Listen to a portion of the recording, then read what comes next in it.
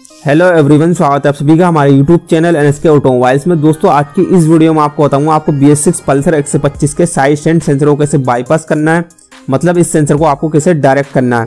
अगर ये सेंसर खराब हो जाता है तो आपकी गाड़ी आगे नहीं बढ़ेगी। जैसे ही आप गाड़ी में गेयर डालोगे तो गाड़ी एकदम बंद हो जाएगी। इंजन एकदम कट ऑफ़ हो जाएगा। दोस्तों, अगर आपकी गाड़ी का ये सेंसर खराब हो जाता है डैमेज हो जाता है, या कोई भी कंडीशन हो सकती है सेंसर काम नहीं कर रहा है जैसे ही आप गाड़ी में गियर डाल रहे हो, गाड़ी एकदम बंद हो जाती है। तो इस कंडीशन में आपको इस सेंसर को कैसे डायरेक्ट करना है, इस सेंसर को आपको कैसे बाईपास करना है, इस वीडियो में मैं आपको पूरी जानकारी दूँगा। अगर ये जानकारी आपके लिए हेल्पफुल रहे तो इस वीडियो को लाइक ज़रूर कर देना। और चैनल पर नए हो तो चैनल को सब्सक्राइब और बेल आइकन प्रेस कर लेना। तो चलिए इस वीडियो को स्टार्ट करते हैं। दोस्तों वीडियो पर एंड तक बने रहो। दोस्तों, इस सेंसर का काम होता है, अगर आपकी गाड़ी का साइड स्टैंड लगा हुआ रह जाता है तो आपकी गाड़ी आगे नहीं बढ़ेगी। जैसे ही आप गाड़ी में गियर डालोगे, गाड़ी एकदम बंद हो जाएगी। गाड़ी का इंजन एकदम कट ऑफ़ हो जाएगा। जब तक आप गाड़ी का साइड स्टैंड नहीं हटाओगे, तब तक गाड़ी आगे नहीं बढ़ेगी। दोस्तों, पहले मैं आपको साइड स्टैंड वाला सेंसर चेक करा देता हूँ।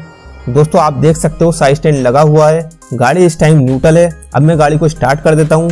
गाड़ी इस टाइम न्यूट्रल है साइड स्टैंड लगा हुआ है। अब जैसे ही मैं गाड़ी में गियर डालूँगा, गाड़ी एकदम बंद हो जाएगी। इंजन एकदम कट ऑफ़ हो जाएगा। आप देख सकते हो गाड़ी एकदम बंद हो गई। और अगर आपकी गाड़ी का साइड स्टैंड हटा हुआ है, तब आपकी गाड़ी बंद नहीं होगी, इंजन कट ऑफ़ नहीं होगा। दोस्तों, ये फीचर हमारी सेफ्टी के लिए काफ़ी ज़्यादा अच्छा है। इस गाड़ी का सेंसर बिल्कुल सही काम कर रहा है। दोस्तों, इन फ्यूचर्स अगर आपकी गाड़ी का साइड स्टैंड वाला सेंसर खराब हो जाता है डैमेज हो जाता है, या कोई भी कंडीशन हो सकती है सेंसर काम नहीं कर रहा है।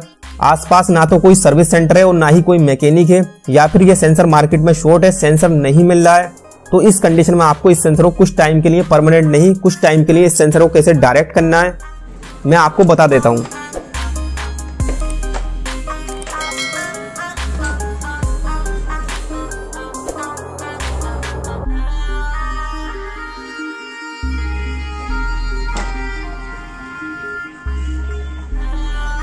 ये है साइड स्टैंड सेंसर का कपलर आपको इसे ओपन कर लेना है।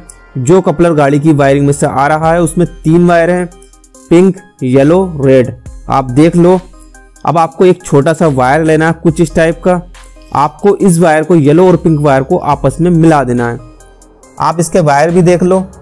इस तरह से। अब ये सेंसर डायरेक्ट हो चुका है। मैं आपको चेक करा देता हूँ। दोस्तों, मेरी आपसे रिक्वेस्ट है, इस सेंसर को आपको परमानेंट डायरेक्ट नहीं करना है। कुछ टाइम के लिए करना है। परमानेंट डायरेक्ट नहीं करना है। ये सेंसर आपकी सेफ्टी के लिए काफ़ी ज़्यादा अच्छा है। साइड स्टैंड हटा हुआ है। गाड़ी गेयर में है। आप देख सकते हो। अब अगर मैं इसका साइड स्टैंड लगाऊँगा तो गाड़ी बंद नहीं होगी इंजन कट ऑफ़ नहीं होगा।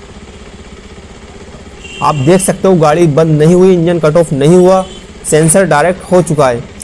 लेकिन दोस्तों मेरी आपसे रिक्वेस्ट है, इस सेंसर को आपको परमानेंट डायरेक्ट नहीं करना है। कुछ टाइम के लिए करना है?